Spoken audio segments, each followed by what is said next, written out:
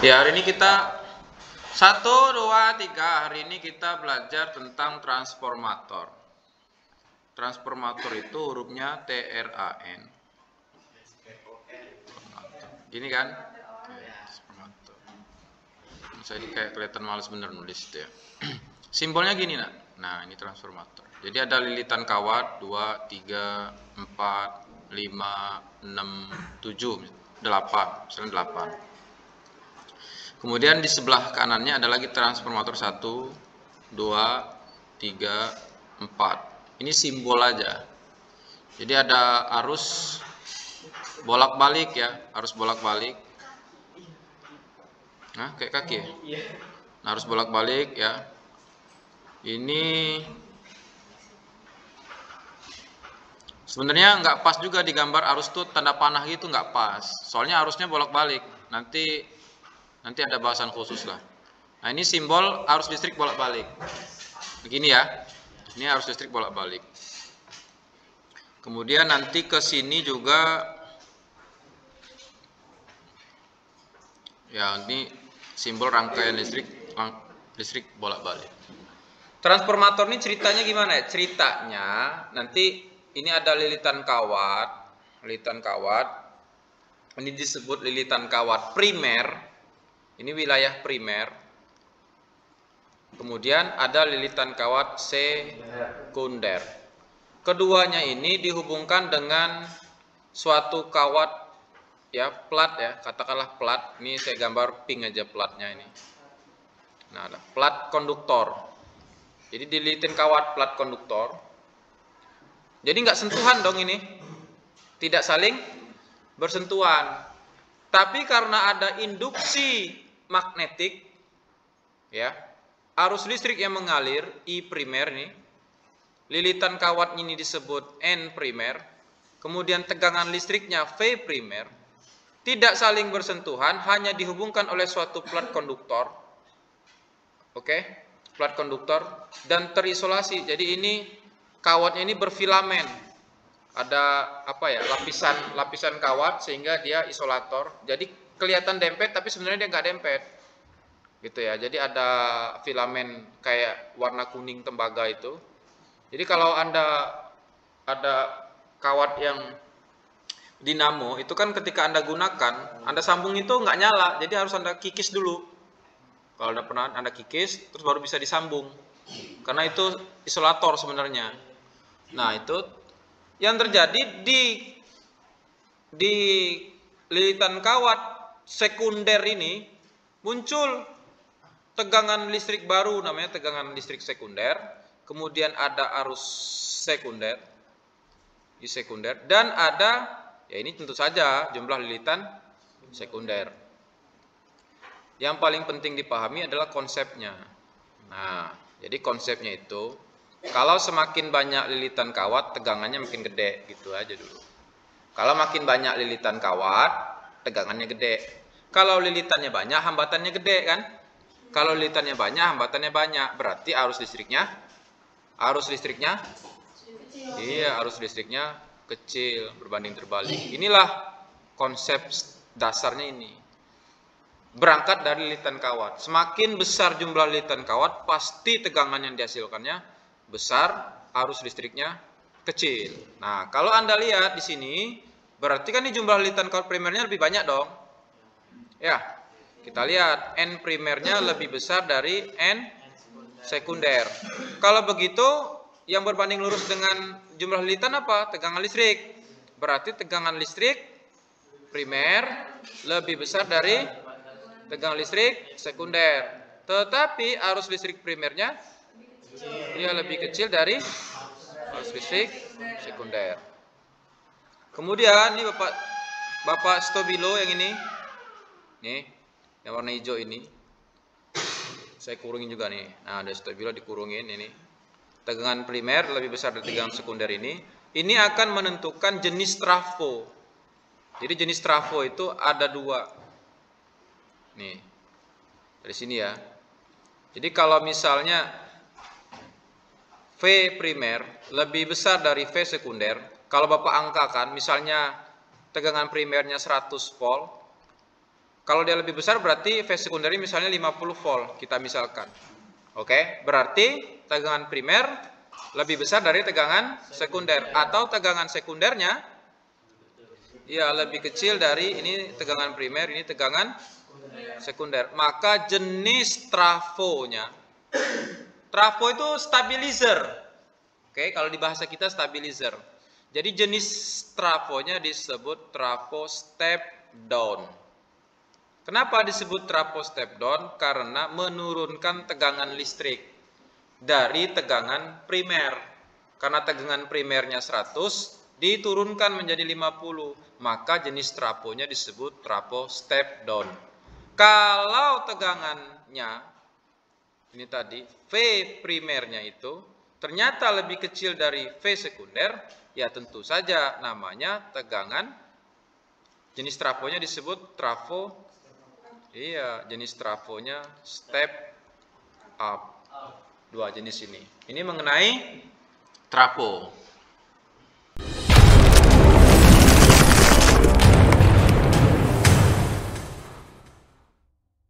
Biar enak saya ngajar di kelas lain. Kelas lain itu tinggal saya tampilin aja video. Oke, selanjutnya ini apa? Apa? Gampang tinggal cut cut. Namanya Evi sensi. Transformator simbolnya gini nih simbolnya ya. Bisa kan? Simbolnya ya. Simbolnya gini ini simbolnya. Apa dibacanya? Dulu saya baca apa nih? Eta ya. Ini simbolnya gini. Nah gini ya. Tuh ya. Baca aja eh eta. Gitu aja ya dah ya tentu saja efisiensi ini selalu kurang dari 100 ini syarat efisiensi kurang dari 100%. Besarnya efisiensi itu daya sekunder dibagi daya primer dikali 100 persen. Ini daya primer. Nah, daya itu apa lagi? Daya itu merek deterjen. P itu sama dengan V. Nih daya. P itu apa tadi? Da. Daya. Kalau V? Nah, tegangan listrik gitu. Satuannya volt. Kalau daya satuannya watt. Kalau I ya arus listrik satuannya ampere. Lah, kalau dia daya primer, ini saya singkat salah nanti. V, jadi V primer dikali I primer. Kalau dayanya sekunder, sekunder sama dengan V sekunder I sekunder. Jadi formulasi yang ini bisa Anda kembangkan ya menjadi ya ini sama dengan V sekunder ya. I sekunder V primer I primer dikali 100% inilah contoh untuk daya efisiensi untuk trafo ya transformator oke ini ada ada soal yang berkaitan dengan efisiensi transformator ya. Tadi kita sudah bahas yang pertama semakin besar jumlah lilitan kawat maka tegangan listriknya besar kan gitu. Ini dulu yang dipahami. Jadi kalau misalnya ada N primer berarti sebanding dengan V primer kan gitu. Jadi kalau ada N sekunder sebanding dengan V V sekunder. Oke, nah ini kalau Bapak buat perbandingan per gitu, ya ini sama aja dengan N primer per N sekunder sama dengan V primer per sekunder gitu. Oke, terus kita punya lagi tadi lilitan itu berbanding terbalik dengan arus listrik I. Jadi awalannya dari lihat lilitan, lilitan kawat ya. Kalau lilitan kawat sebanding dengan V, lilitan kawat berbanding terbalik dengan I. Maka di sini bisa kita kita tulis gini. Kalau dia N primer, berarti berbanding dengan I primer di bawah kan? Ya, kalau dia N sekunder, maka I sekundernya di bawah. Oke. Kalau ini kita bagi per gitu. Jadi ini bisa kita tulis N primer per N sekunder itu sama dengan 1 per I primer dibagi 1 per I sekunder. Nah, persamaan ini bisa berubah. Ya, dirapihkan. Kalau dirapihkan menjadi N primer per N sekunder sama dengan ini kali ke sini kan? Kali ke sana. Jadi I sekunder per I primer. Nah, karena N primer per N sekunder sama dengan I sekunder per I primer, maka ini tinggal tambahin aja persamaannya di sini kan.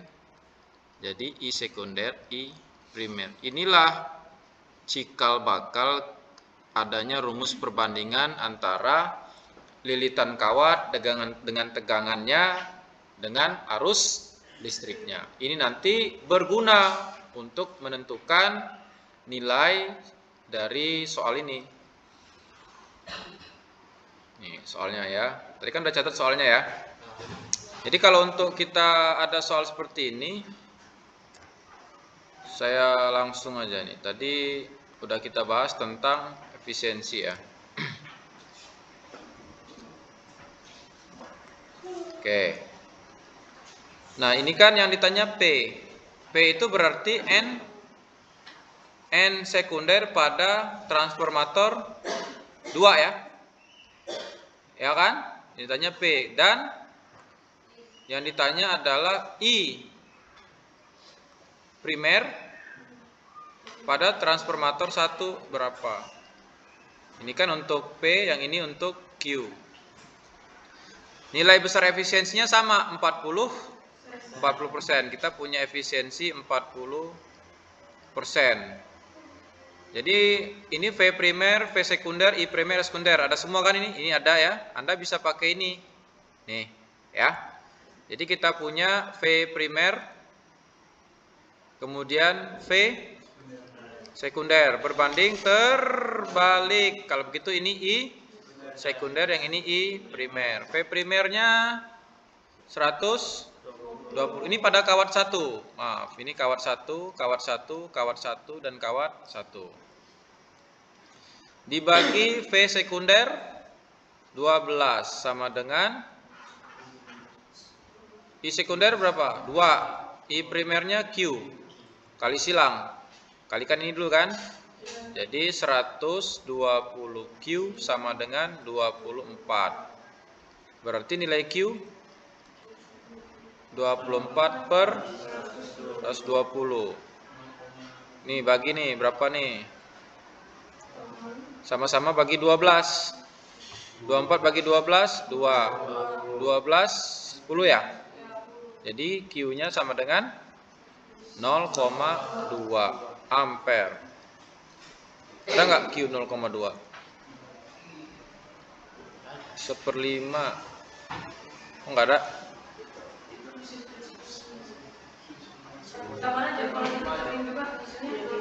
Tetap 0,2 kan? Oh, karena belum ada karena nggak pakai efisiensi, jadi harus pakai efisiensi. Ini dengan ini persamaan untuk transformator ideal ya. Ini untuk kalau transformatornya efisiensinya 100 persen, sedangkan kita pakai yang 40 40 persen. Berarti untuk pakai 40 persen itu menggunakan yang formulasi efisiensi. Kan nggak ketemu tuh 0,2 ya Q-nya. Karena tadi tidak dijawab menggunakan efisiensi. Kalau pakai efisiensi berlaku apa di sini? V sekunder, I sekunder, V primer, I primer dikali 100 persen. Efisiensinya 40 persen. V sekunder 12. I sekunder dua terus ini ya ini kan terus V primer 120 I primer Q dikali 100 persen Coret persennya. Coret lagi nolnya. Terus ini 12 bagi 2 berapa ini? Habis kan ini? 10. Ini 10 kan? Terus ini 10 coret lagi. Ini coret kan? Coret lagi? Udah? Terus mana lagi coret nih? Sudah. Jadi yang tersisa ini ada 4 sama dengan 2 per Q. Jadi nilai Q-nya 2 per 4 sama dengan setengah 0,5 ampere. Nah inilah jawabannya 0,5 ampere untuk nilai Q. Nah, catat dulu yang Q.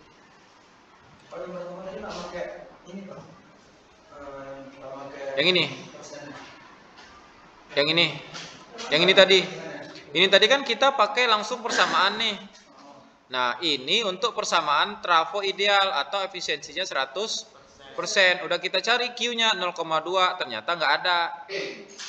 Karena di sini efisiensi transformatornya 40%. Jadi harus melibatkan efisiensi transformator. Mana? Ya, oh nyari P-nya. Ya tinggal Oh, enggak catat dulu. Catat dulu aja. Yang 0,2 juga dicatat. Ini hanya untuk membuktikan bahwa ini khusus untuk kalau efisiensinya yang apa namanya transformatornya ideal ya untuk 100 Ya, 100%. Tapi untuk kasus yang trafonya itu efisiensinya tidak 100%, dalam hal ini 40%, harus pakai rumus efisiensi transformator. Kira-kira gitu.